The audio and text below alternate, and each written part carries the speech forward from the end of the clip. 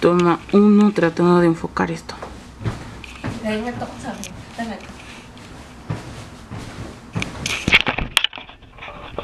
Sigue brincando porque estoy enfocando.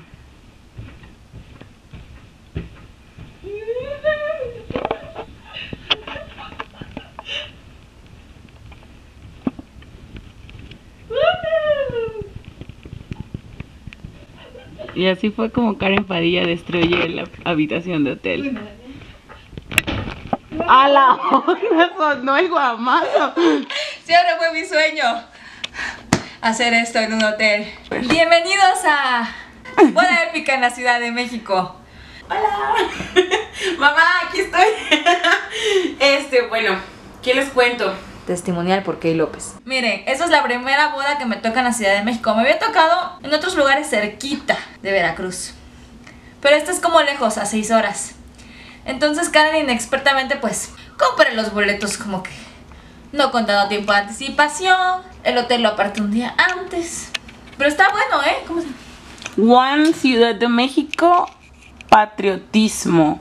Está muy bonito y está en una plaza y pues hay muchas cosas. Fuimos a comer pozole a la casa del tío Toño. Esa experiencia se las va a contar Kay porque supo muy, muy rico. El pozole más rico de todo el mundo. Mentira, tía. el pozole que comimos en la casa de Toño. Yo no le creía a Karen porque Karen me decía, no, ahí hacen el pozole más rico. Y sí, realmente sabe muy, muy, pero muy rico. Tienen una salsa que Karen me dijo como, eso sabe rico. Y así como, ¿qué es? Y ella, no, no sé, pero sabe rico. Y realmente sabía muy, muy, muy rico. La compañía súper agradable, súper de lujo, o sea... Fíjense que, qué chiquito es el mundo porque el amigo de Karen conoce a mi familia, entonces era como, no sé, nos sentimos como todos súper felices, súper a gustos. Bueno, ayer ya a unas pocas horas de poder venir, poder- podernos venir a México, no teníamos una cámara, pues la que íbamos a usar se descompuso y después pedimos otra, tampoco se pudo y fue todo un rollo. Y eran las 4 de la tarde y no teníamos cámara y yo estaba que me moría. Que ayudándome por una parte, Caro ayudándome por otra, yo buscando acá. Bueno, conseguimos la cámara, conseguimos la cámara, ¿verdad? Muchas gracias eh, a la persona que me dijo que, quería, que no quería aparecer. Pero tú sabes quién eres, que nos prestaste la cámara. Muchas, muchas gracias porque nos ayudaste un montón. No sabes cuánto Uf, se nos bajó el estrés. Aquí tenemos las cámaras que nos vamos a empezar a, a preparar para mañana, para la boda, tratar de hacer lo mejor posible. Estoy muy emocionada porque al lugar donde vamos a ir, que es el Templo Mormón de la Ciudad de México, yo nunca he ido, entonces estoy como que súper así de que voy a trabajar, pero también voy a conocer un lugar que nunca había conocido en mi vida. Entonces es súper, súper padre. En los hoteles no había disponibilidad en estas fechas y yo me quería morir. Lo del hotel se resolvió como a las 6 de la tarde más o menos. Ya teníamos hotel, ya, está bien. No encontramos uno cerca de donde nos toca ir a la boda, pero bueno. Literalmente Sí. vamos a atravesar la ciudad Vamos. de este a oeste. El caso es que ya teníamos cámara, ya teníamos hotel, teníamos boletos, todo estaba bien. Llega viernes, tenemos que salir a la de 10 y media, no, 10 y media salía el autobús, teníamos que estar antes. Pero bueno, que ahí se puso a hacer cosas en la computadora, yo la dejé, pues llama le dije, bueno, ella va a saber cómo a qué hora.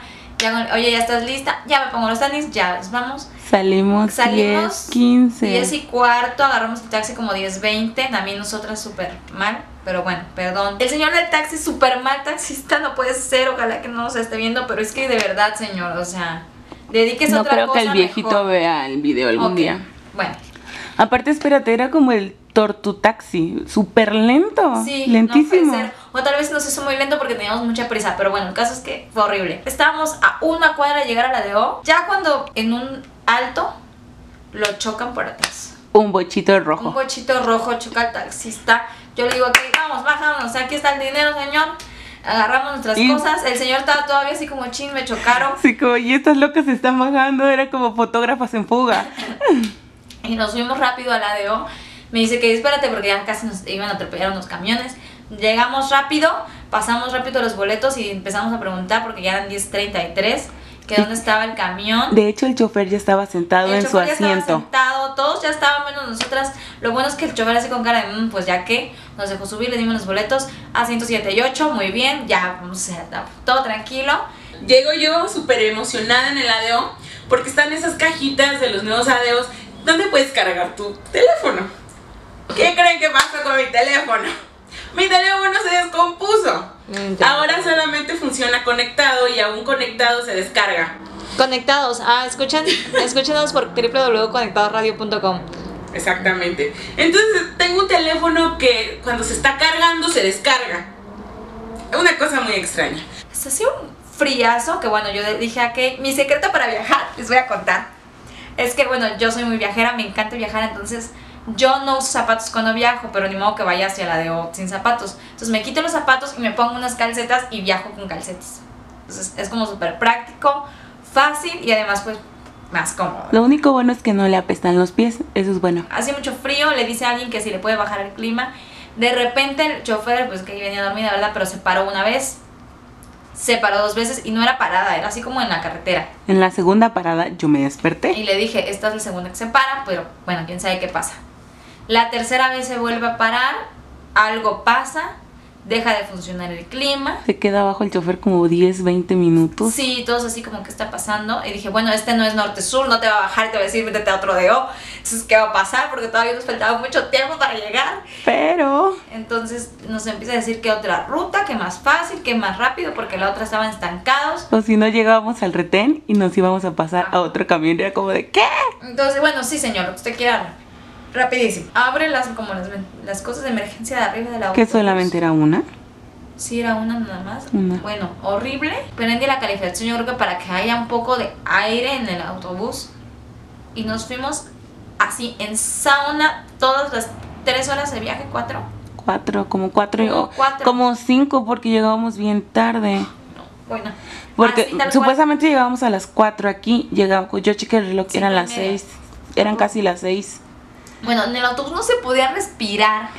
O sea, fue horrible. Era, era- bueno, que les voy a contar cómo se sentía, pero yo me estaba ahogando, ¿no? ¿Tú podía viste respirar. arribita que marcaba la temperatura? Ajá. Oscilaba entre los 37 y los 39 grados. El caso es que respirabas caliente, o sea, ni siquiera era como tener calor porque está el sol quemándote, sino que no había aire. Era horrible, la verdad, horrible. Me quité los calcetines, me fui así descalza. Realmente casi morimos. Eh, como Karen les dijo, estuvimos en un sauna Rodante. sauna. Adiós sauna. en un adeo sauna. Gracias, adeo. Mi piel lo necesitaba, realmente no. Pero sí, dice, Karen dijo que yo les iba a decir cómo se sentían. Literalmente la piel eh, la empezaste, la empeza, la empezábamos a sentir como si nos volviéramos de papel, súper resecos, porque era chistoso, porque no sudábamos, pero nos estábamos resecando completamente. Luego la nariz, teníamos como las dos una sensación muy rara en la nariz, que realmente sentíamos el aire pasando por los vellitos que están adentro de la nariz. Era una cosa muy, muy, muy horrible y era como de, ay, ya que se apague esta cosa. Y íbamos viendo la ventana, bueno, ella iba viendo la ventana. En un momento se quedó inmóvil y yo dije, ya se murió. Entonces así como con mucha dificultad me volteé y le digo, ¿estás bien? Y ella, sí. Y yo, ah, bueno. Pero en serio, no estamos exagerando. Las temperaturas iban entre 37 y 39 grados en un ADO encerrado lleno. Porque iba, o sea, para acabarla de molar, iban todos los asientos ocupados.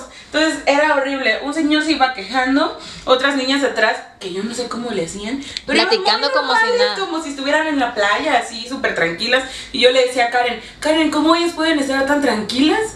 Si, no, si están allá atrás, que se, se debe sentir peor el calor. Llegamos, me, hab- me habían dicho cómo es ir en metro, pero bueno, tenemos las cámaras y todo, entonces pues, se me hacía como muy peligroso. Así que decidimos eh, taxi, dependiendo de cuánto nos cobrara. 123 pesos, se me hizo un precio razonable para la distancia. ¿Cómo se llamaba? Taxi seguro. Taxi seguro tap.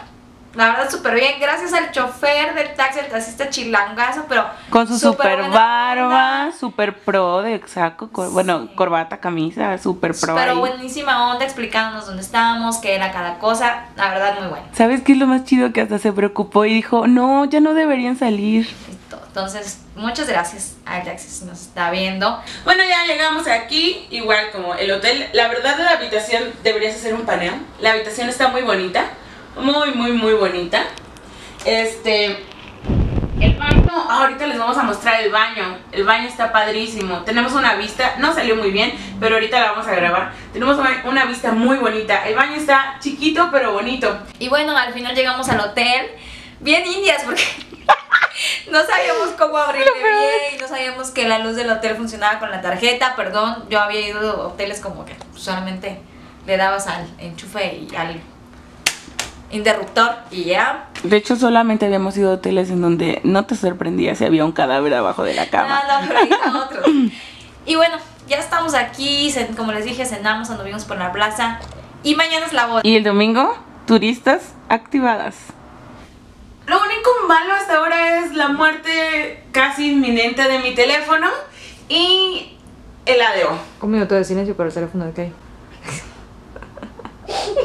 Es que siempre me tienen que pasar las cosas a mí. Siempre, toda la vida. Ah, también aquí en el hotel nos dan desayuno buffet. Ah, rat- mañana tenemos que grabar. Sí, sí, gratis. Pero, como somos un poco tragoncitas, fuimos por municiones. Esperen. Que no son tantas, pero ya, ya cenamos, así que como que. Metimos de contrabando en una bolsa que quién sabe dónde aventé. Pero por ahí las Y metimos de compramos chocolate, ¿no? Bueno, no, agua de chocolate. Bueno, sí. Oxo, tú tienes mejor chocolate. Te felicito. Este, entonces ya ahorita nos vamos a, supongo que desmaquillar. El domingo vamos a andar de turistas, vamos a conocer un poquito. Ojalá podamos divertirnos un poquito. Sábado, pues nuestra vida, nuestra alma, nuestra mente. Para Y los novios. Nosotros, es para ustedes los novios, que por eso estamos aquí. Caro va a estar mañana también en Cosamaloapan. Así que desde aquí le mandamos como que las mejores vibras, los mejores espíritus fotográficos y enfocadores y de todo para que la iluminen y se la posean y pueda ella dar el mejor esfuerzo que sé que lo va a hacer. Estamos muy, muy, muy contentas de estar aquí. Mañana va a ser un día caótico, pero muy emocionante. Les vamos a enseñar el detrás de cámara, no se preocupen. Sí, así es. Y bueno, ese es como México, Ciudad de México, boda épica, día 1.